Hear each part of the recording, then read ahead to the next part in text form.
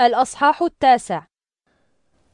ونفخ الملاك الخامس في بوقه فرأيت نجما سقط من السماء إلى الأرض فأعطي مفتاح بئر الهاوية.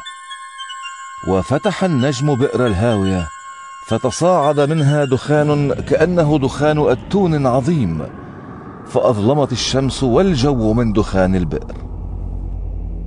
وخرج من الدخان جراد غطى وجه الأرض فنال سلطانا كسلطان عقارب الأرض. وقيل له أن لا يؤذي عشب الأرض ولا شيئا أخضر ولا شجرا بل يقتصر على الناس الذين لا يوجد ختم الله على جباههم وقيل له أن لا يقتلهم بل يعذبهم مدة خمسة أشهر بعذاب يشبه عذاب لسعة العقرب. فيطلب الناس الموت في تلك الأيام فلا يجدونه ويتمنون أن يموتوا والموت يهرب منهم. وبدأ الجراد كأنه خيل مهيئه للقتال. على رؤوسه ما يشبه أكاليل من ذهب ووجوهه كوجوه البشر وله شعر كشعر النساء وأسنانه كأنياب الأسود. وصدوره كدروع من حديد وصوت أجنحته كضجيج مركبات خيل كثيرة تجري إلى القتال. ولأذنابه إبر كأذناب العقارب. وله سلطان أن يؤذي الناس مدة خمسة أشهر.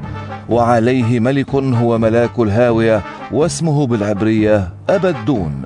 وباليونانية أبوليون. مضى الويل الأول ويأتي الويلان الآخران. ونفخ الملاك السادس في البوق. فسمعت صوتا خرج من القرون الاربعه لمذبح الذهب الذي أمام الله. وقال الصوت للملاك السادس الذي يحمل البوق أطلق الملائكة الأربعة المقيدين على نهر الفرات الكبير.